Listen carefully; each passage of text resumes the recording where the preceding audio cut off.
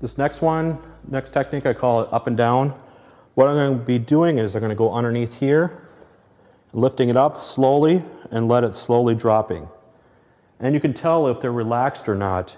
If they're not relaxed, it's going to be stiff coming back. But if they are relaxed, you're going to go like this, and it's going to slowly, as you can see, it's going to bend a little bit. Again, up here, up here, and just let it drop.